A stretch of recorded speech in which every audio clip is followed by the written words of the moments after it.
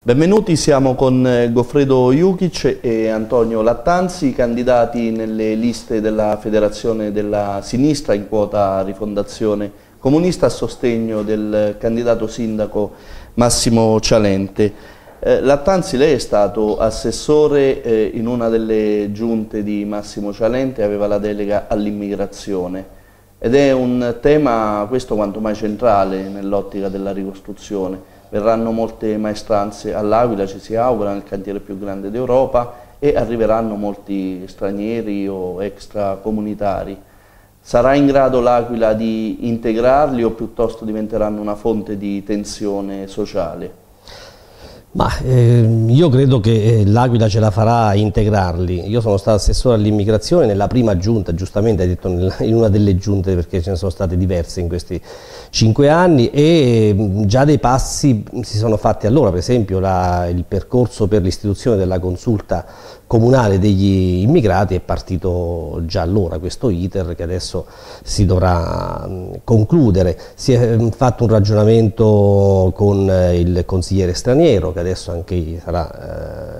rieletto, eh, c'è stata da parte del comune e della provincia l'istituzione del centro polivalente per, per, gli immigrati. È chiaro che eh, rispetto al numero che noi avevamo di 3.500 più o meno sul territorio comunale del lago adesso ci sarà un, un incremento. E in questo dovremo, eh, il prossimo Consiglio Comunale dovrà certamente lavorare e un ruolo importante ce l'avrà anche la scuola perché poi questi, già, già, oggi in alcune realtà c'è una forte presenza delle, degli immigrati nelle scuole, anzi grazie a loro che alcune scuole si reggono, riescono a reggere rispetto ai numeri che non, che non, la Gelmini ma Tremonti ha imposto nelle ultime manovre della, della scorsa estate, e però bisognerà fare in modo che ci sia anche un discorso per quanto riguarda i centri territoriali permanenti per far sì che ci siano corsi per, eh, di italiano per stranieri, perché la vera immigrazione nasce pure dal fatto che poi ci si possa,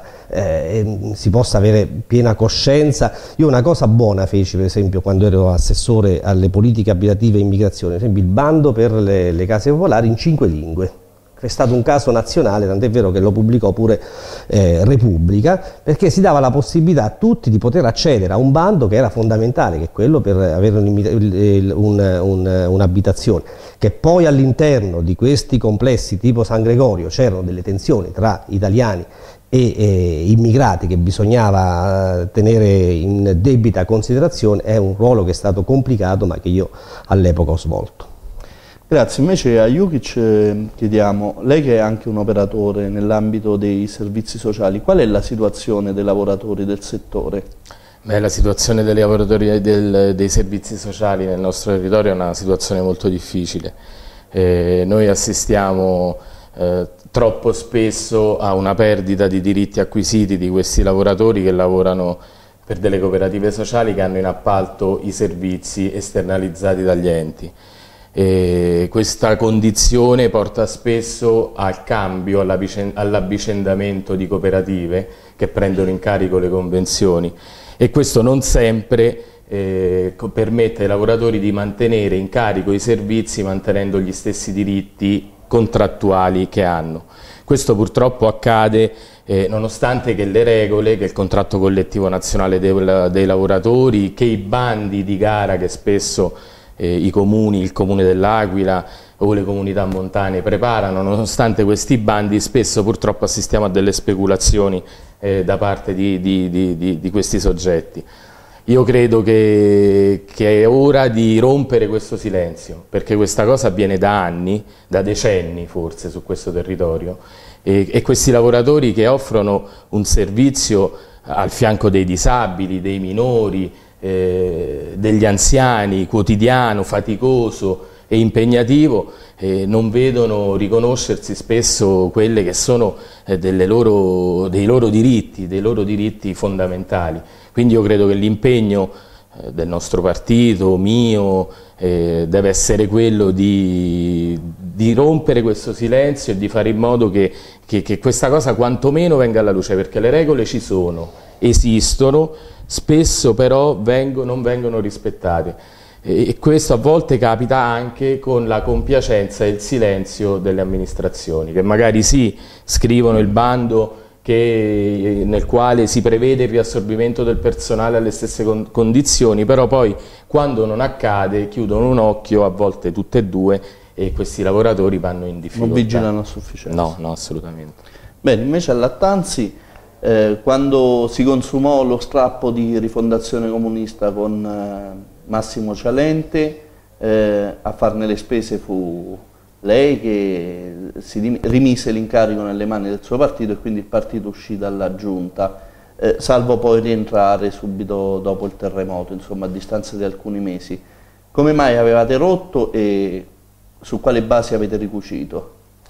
Beh, noi siamo stati fuori comunque non eh, pochi mesi, siamo stati fuori dal settembre del 2009 fino all'estate eh, del, del 2011, quindi eh, un bel po'. Eh, noi avevamo qualche difficoltà anche precedentemente perché io, Enrico Berlinguer amava dire il Partito Comunista Italiano è un partito serio, indegnamente prendendo in prestito queste parole vorrei dire che Rifondazione Comunista è un partito serio e che quando sottoscrive un programma di mandato poi su quel programma di mandato non ha nessuna obiezione. Le obiezioni che io in giunta e Enrico Perilli in Consiglio Comunale abbiamo avuto in questi anni, in, quei, in quegli anni lì è stato quando si andava al di fuori del seminato, al di fuori di quelli che erano gli accordi, quando arrivavano fuori sacco in giunta del, dei provvedimenti così, eh, senza una preparazione, e quindi non passavano, almeno non passavano con il voto di rifondazione eh, comunista, perché si, tra si trattava di, di, cose che noi avevamo combattuto nei, nei, negli anni precedenti, nei nove anni del governo delle,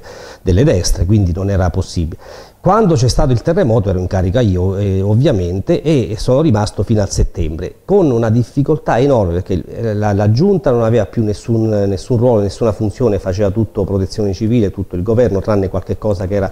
eh, che dovevamo fare obbligatoriamente come le, le delibere sulle casette che noi l'avremmo vista in maniera un po' più con qualche paletto un po' più stretto, la delibera sulla rilocalizzazione delle attività commerciali che io avevo proposto in maniera diversa invece invece passò la proposta Fanfani che aveva eh, a metà questo, questo, assessorato perché io avevo le politiche del commercio e lui aveva il SUAP, noi avevamo detto di unificare le due cose, non, non è stato possibile, abbiamo visto che c'era sostanzialmente una, eh, una, giunta che non riusciva ad essere incisiva, men che meno il, il ruolo di rifondazione perché venivamo tenuti ai margini e decidemmo di, di uscire. Poi ci furono eh, le dimissioni di, di Cialente, il rischio di un nuovo commissariamento, noi che siamo contro i commissari e per senso di responsabilità decidemmo di dare la nostra disponibilità a rientrare, tra l'altro con una delega pesantissima che il nostro assessore Fabio Pelini ha gestito in maniera veramente ottima, riuscendo a fare un'operazione incredibile, cioè quella di svuotare gli alberghi, svuotare la Guardia di Finanza e riempire tutti i moduli abitativi sia del progetto casa che dei MAP, riuscendo a fare in pochi mesi quello che non si era riuscito a fare in, in tre anni. È chiaro che adesso noi ci riproponiamo, ma riteniamo che all'interno della coalizione ci possono essere dei distinguo perché se noi siamo un partito, il PD è un altro partito, eh, l'API è un altro partito ancora, ci saranno qualche distinguo. Non capisco la posizione di alcuni che dicono ma voi siete stati a volte in contrasto, ma ci mancherebbe altro, altrimenti saremmo tutti in un unico partito, ma non sarebbe una coalizione, sarebbe un unico partito che sostiene il sindaco. Sì, ricordiamo la delega di Fabio Pellini e l'assistenza alla popolazione. alla popolazione, pesantissima. Per concludere con Jukic, per eh, un lungo periodo Rifondazione è stato uno dei partiti che maggiormente ha tentato il dialogo con i comitati, in particolar modo con quelli che poi si sono raggruppati intorno ad Appello per l'Aquila e mm, portano come candidato sindaco Ettore Di Cesare. Come mai poi il filo del dialogo si è interrotto e voi avete fatto una scelta diciamo così più istituzionale mentre loro hanno deciso di correre Guardi, per conto proprio? Eh, purtroppo all'Aquila si è persa un'occasione. Eh, qui c'era la possibilità di praticare un rinnovamento anche del centro-sinistra. Noi abbiamo inseguito, abbiamo cercato di, eh, di costruire presupposti insieme a chi ci poteva stare, quindi immagino alle forze che oggi si, si raccolgono intorno ad Ettore di Cesare, piuttosto che a quelle che sostengono Mancini. Abbiamo cercato di proporre loro un percorso all'interno delle primarie del centro-sinistra per scardinare il sistema di cui parlava Antonio, che spesso noi abbiamo anche combattuto. Questo, questo, nostro tentativo purtroppo si è infranto di fronte alle, lo devo dire, piccole ambizioni personali eh, di questi leader che, che spesso si, si, ritengono gli unici depositari della partecipazione e della democrazia in questa città. E quindi hanno rinunciato per uno scranno in consiglio comunale perché poi noi eh, capiamo bene che oggi la sfida è polarizzata tra il candidato sindaco della nostra coalizione, quella che abbiamo scelto di sostenere, e probabilmente il candidato sindaco De Matteis. Tutti gli altri a margine possono recitare dei piccoli ruoli per avere un piccolo posto in Consiglio Comunale. Noi dicevamo a queste forze, compagni o amici, possiamo fare un percorso diverso, possiamo costruire il rinnovamento del centro-sinistra in questa città. A questo ragionamento però, eh, in questa cosa noi siamo, ci siamo trovati soli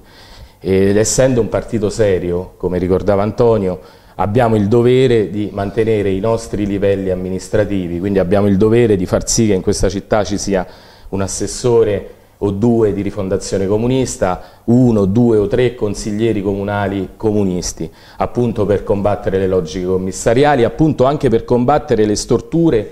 che purtroppo tuttora ci sono all'interno della nostra coalizione. Però ovviamente se ci sono le condizioni per partecipare in un percorso ampio di rinnovamento, noi siamo anzi siamo quelli che lo promuovevano. Se poi però troviamo di fronte degli interlocutori che hanno